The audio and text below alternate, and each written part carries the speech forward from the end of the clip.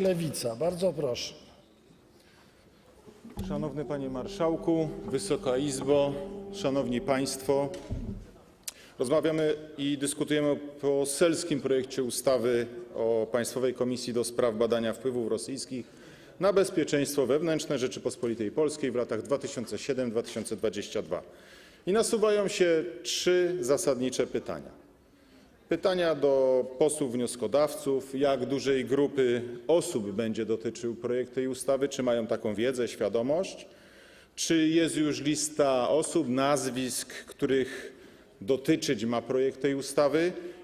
Jedno z wielu pytań, które zadają Polki i Polacy: Dlaczego dotyczy to okresu 2007-2022, a na przykład nie okresu 2005-2022? Dziękuję bardzo. Dziękuję bardzo. Pan poseł Konrad